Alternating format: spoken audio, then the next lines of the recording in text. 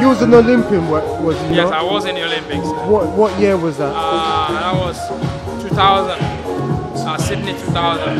Okay, what, what which one was that? Uh, that was in Sydney. in Sydney. Yeah, 2000. Okay, 2000 in Sydney. How was that whole experience for you? Ah, it was a wonderful experience. Uh, as an amateur, the Olympic is the ultimate. Yes. So, and being a young, when I was a young boy growing up, I wanted to go to the Olympics and I wanted to win a gold medal. So, qualifying for the Olympics, that was major for me. Yes. So, thankful, wonderful experience. And um, am I right in thinking you're southpaw? Yes, the best southpaw. Okay, you're southpaw, but usually a lot of southpaws are left-handed. Yeah. Uh, is that the case with you? No, that's not that's not the case with me. Uh, For some reason, uh, actually, I'm, I was surprised myself when I found out the difference between Southpaw and Orthodox. When I started boxing, I started very young, so I didn't know the difference between Southpaw and Orthodox. I just started as a Southpaw, and luckily it worked for me. And my kind of Southpaw is quite different anyway. So luckily my coaches didn't try to switch me despite knowing I'm right-handed. I'm right-handed, I'm left hand I'm, le- I'm left-footed. I'm I know I'm right-footed, I'm right-handed. But still, just a southpaw. The only thing I do with left is boxing. That's uh, that, that, Yeah, that- so that's a I'm unique of- story right yes, there. I'm kind of weird. You know, one of the closest friends to you is um, you know Lomachenko. He's also right-handed. Yeah. When he's when he signs an autograph, he um he um he, he writes with his right hand. There you go. So you know. and you know, uh, when I watch him a few times, his, his style is quite similar to mine. yes. Uh, a lot of things I was doing in the in the amateurs, even Yeah. uh, LA Pro, he's doing he's doing it.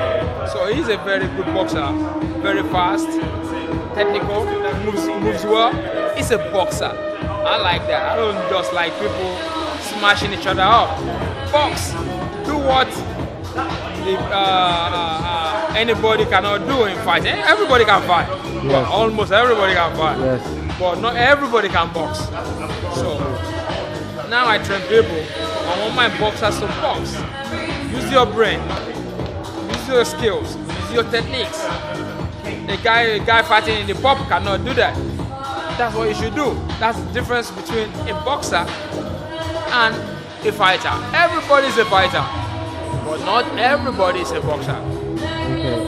Um, what made you start boxing? Can you remember? Ah, the weird story. That's, that was because I got beaten up by a girl. Really? Actually, my dad was a boxing coach, Yeah. so I've been going to the gym just to watch. I didn't want to box. I was doing basketball. But one of these days, I went to the gym and one of his boys were like, was like, "Can you fight this girl?" I'm like, "Come on, a girl." Not knowing the girl has been training, so they gave us the gloves, and she knocked me down two, three times in one round. Wow. I, when I was so upset, I was crying, and uh, two weeks later, I went to the gym and I started boxing. It. Um, you've got a bit of a success story because when you first started um, your amateur, you lost your few fights first. Yeah, actually, yeah, I lost many fights as an amateur. eh, Wow. When earlier on. Yeah. Actually, my first three fights, I lost. So Even what though- kept you going? I lost and I, I got a lot of encouragement from people because of my style. Yes. Then, back then in Nigeria, when people love your style, they will come and spray you money. Okay. So, oftentimes, all those fights I lost, I was getting more money than the guy who won. Oh. Yeah, they were giving me more money than the guy who won. Like, okay, maybe, maybe I'm good because I was very fast, I was moving very well, and people like that style, and they were giving me money. I could make like twice the amount the, the winner made. So I just I kept going. Yeah, that's, that's As uh, against what many people thought, my dad didn't actually force me to box. yes. Didn't force me to box until later on, when I realized I was good at it, and I, I wanted to stop for boxing for football. because I was alright in football too, and it made me like it was like no no no no, you can't do that. It was very strict on that, and you cannot do that. You are good in boxing, you are okay in football, but you are better in boxing. So it made me stick to boxing, and it was right. Who did you box for as an amateur? Nigeria. Okay. No, I mean before. Do you have a, like a boxing club? in Yeah, Nigeria? actually, yeah, I had a boxing club. It's closed down now. Okay. Uh, I was training on the floor Yeah. in a school shed. No, not a great gym. Yeah. Like you wouldn't even call it a gym, Yeah.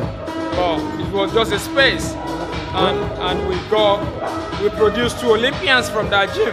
Wow. What was the other Olympians name? Huh? Uh, the other one is Kehinde Aweda. Okay. Uh, he was in Atlanta Olympics. Okay. He was a silver medalist in the All African Games. Uh, he's the he's the chief, he's the coach for the Nigerian Army team now. Really? Yeah, and myself. So, and we got another pro who, who, who used to reside in Italy from that gym. So, but then the gym is closed down. They closed down the gym because the school Yeah. don't want us to use the gym anymore. Okay. That's a shame. I'm, I'm in the process of starting a new gym over there just to sponsor them. Okay. That that that'll be a good um, good thing for you to do. Now let's um, fast forward from the Olympics. Um, you turned pro shortly after, did you? Or, Yes. Okay. Um, how many professional fights did you have? Uh, I had I had 34 professional fights. Okay. Uh, I won 32. I lost two. Two. Okay. Because one of your famous um, loss was against uh, Lu- Lucas Lucas Mat- Matthysse, Matthysse. Um, how was his punching power at the time? Well, his punching power was unreal. Like, literally unreal. It was unrealistic. It was not natural. But I'll leave it like that. it was not, because around that time, there was no WADA testing. Oh. There was no WADA drug testing. And, uh, hang on. We're gonna do some apps now. Eight. So uh, there was no WADA testing. So people were using whatever they wanted. I was naive. I just, because coming from the Olympic background, you get tested all the time. So I, all I just have to do is eat, eat ever, and train. That's it. I believe in my skill. I believe in my my my hard work that I will do well, and that was what I was doing. But in the US, people were like, "You're stupid, man. Everybody's doing it. You should do it." Well, I asked for a drug test before the fight. They turned that down. That's that's his volume. But so his, his power was unreal. It's, what- it was unna- unnatural. But then it's one of those things. One of Yeah, those things. one of these. Because I remember watching that fight, and there's a lot of the stages you was at boxing him, you know. Yes. But it's only when he hit you. you And I think one of my mistakes was because I was too tough for my own good. Yeah. You know, being a Lagosian, naturally you're tough. Like, who the hell are you? Yeah. You want to hit? You want to punch? Let's punch. Let's You got two hands. I got two hands. But I could have even even with the with the situation, I could have boxed to my strength, which was using my brain, which was using my skills. If I had done that, I would have won regardless. I would have made the fight easier. But I let my heart overrule my head. I was I, was ready to fight. You want to fight? Let's fight. But that was not that was not smart. I could have boxed better. All right. So what what's next for you now? Uh, I am I am teaching people. I'm teaching boxing, imparting the knowledge I got on others. Yes. uh, young guys, amateurs, professionals, and uh, I'm, I'm studying at the moment as well. Okay, what you studying? Doing sports science. Okay. So whatever I do, I want to I want to be the best at it. That's the reason I need, I wanted I decided to go to uni to go and do sports science. I had enough knowledge, I had coaching certificates, but I still want to get you know the science part of boxing, you know, and the psychological part of boxing as well. Very true. Psychological part of sports. So I want to be the best I can be. I'm gonna be freakingly good. Is there any other way people could get in contact with you if you want to know a bit more Uh, a want, want a former Olympian to train them? Yeah, well, number or social media? Yeah, yeah, they can get you, they can message me on Facebook.